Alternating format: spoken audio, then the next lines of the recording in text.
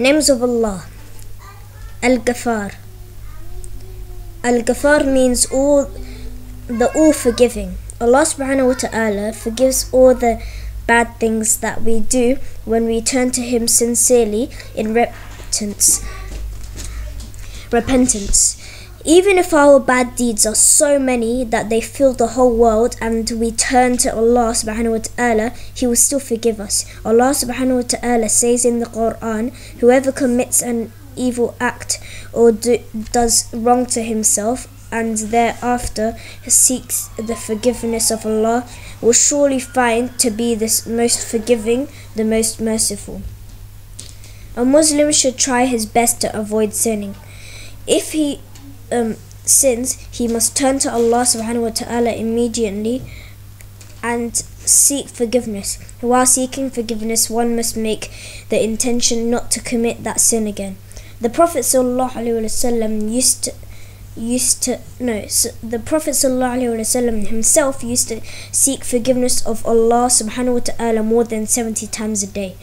By doing this he has set an example for all Muslims that they should Allah, ask for Allah subhanahu wa ta'ala's forgiveness. There was once a man who killed 99 people. He then felt really bad because of his all his good bad deeds and wanted to turn to Allah subhanahu wa ta'ala in repentance.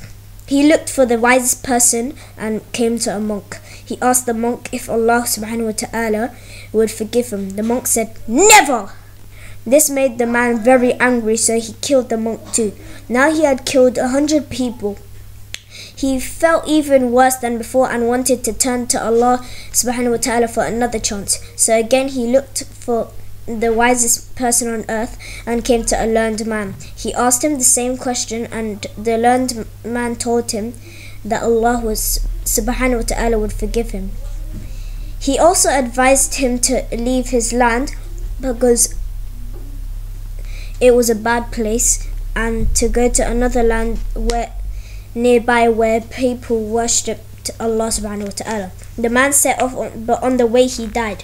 Both the angels of mercy and angels of punishment came to take his soul and began to argue with each other. The angels of mercy said that he came out of the area seeking forgiveness.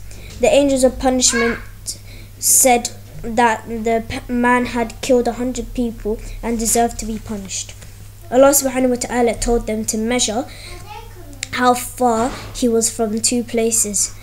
If he was nearer to his home, then the angels of punishment would take him. However, if he was nearer to where he was going, then the angels of mercy would take him. Allah subhanahu wa ta'ala was so merciful that he ordered the earth to become closer to the land to which he was going.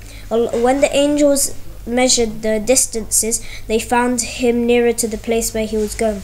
So the angels of mercy took him and he was forgiven forgiven. Allah subhanahu wa ta'ala loves to forgive and this story shows how much he loves forgiveness.